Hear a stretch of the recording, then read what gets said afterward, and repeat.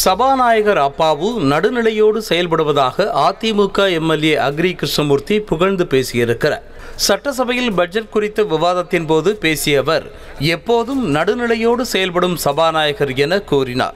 அப்போது அவர் அருகே இருந்த முன்னாள் அமைச்சர்கள் மேஜை மீது தட்டி தங்கள் மகிழ்ச்சியை வெளிப்படுத்தினர். அவர்கள். நடுநிலையோடு பேரவையை நடத்தி கொண்டிருக்கும் மாண்புமிகு பேரவை தலைவர்களுக்கும் எனது நன்றியினை தெரிவித்துக் கொள்கிறேன். எஸ் எஸ் கிருஷ்ணமூர்த்தி அவர்கள் நடுநிலையோடு பேரவையை நடத்தி கொண்டிருக்கும் மாண்புமிகு பேரவை தலைவர்களுக்கும் எனது நன்றியினை. தெரிவித்துக் கொள்கிறேன். கரூர் மாவட்டம் புகழிமலை முருகன் கோவில் குடமுழுக்கு விழாவை முன்னிட்டு ஏராளமான பக்தர்கள் காவிரி ஆற்றில் இருந்து புனித தீர்த்தத்தை ஊர்வலமாக எடுத்து வந்தனர். புகழிமலை முருகன் கோவிலில் பதிமூன்று ஆண்டுகளுக்கு பின்னர் வரும் இருபத்தி ஏழாம் தேதி குடமுழுக்கு விழா நடைபெறவிருக்கும் நிலையில் அதற்கான ஏற்பாடுகள் தீவிரமாக நடைபெற்று வருகின்றன. இந்த நிலையில் குடமுழுக்கை முன்னிட்டு சிவாச்சாரியார்கள் காவிரி ஆற்றில் இருந்து புனித தீர்த்தத்தை யானை மீது வைத்து ஊர்வலமாக எடுத்து வந்த நிலையில் பக்தர்கள் தலையில் சுமந்தபடியே ஊர்வலமாக சென்று சுவாமி தரிசனம் செய்தனர்.